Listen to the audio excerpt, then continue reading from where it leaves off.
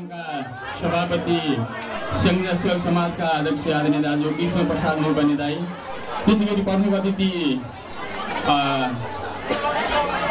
राजदूतावास युएकी द्वितीय सचिव आदरणीय दिजु विष्णु कुमारी अधिकारी त्यति गरी राजु